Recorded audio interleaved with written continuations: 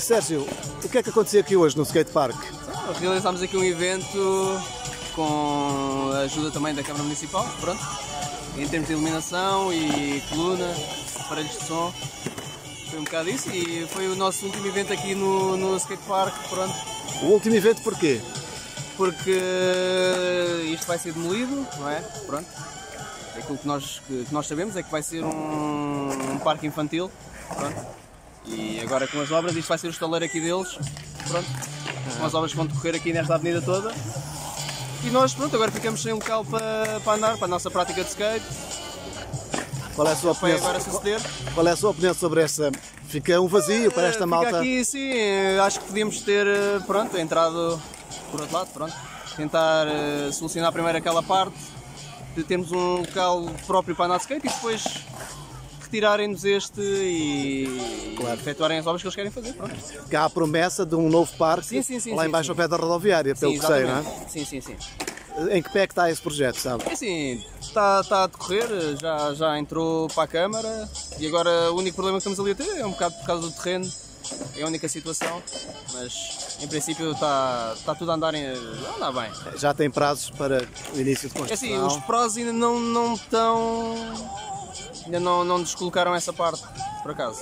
Mas não era, não era possível conciliar a demolição deste parque a- a- após a, a construção do outro?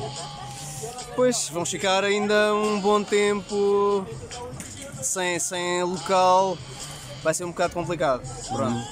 É, os miúdos agora vão andar um bocadinho pela rua, pronto. Quais são as alternativas? É a Várzea Grande, Praça da República? Vai passar um bocado por aí. Ir à Praça da República, que já é um sítio que nós frequentamos desde o início dos anos 2000 e voltar à Várzea. Voltar, pronto. Continuar a andar na Várzea.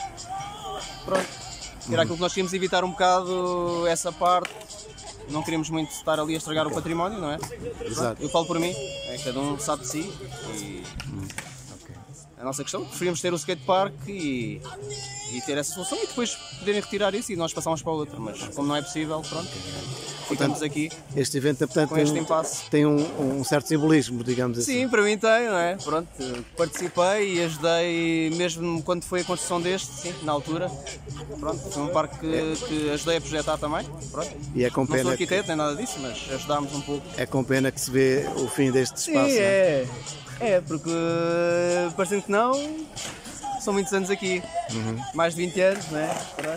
Ou 20 anos, se calhar neste caso, já deve estar a fazer. Se não estou em erro, acho que é de 2002, 2001, 2002. Se não estou em erro.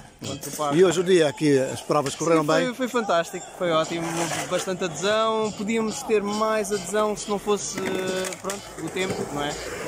Este fator, a chuva, pronto, não veio ajudar essa parte, mas tirando isso, acho que o pessoal aderiu. É o que é. Tá bom?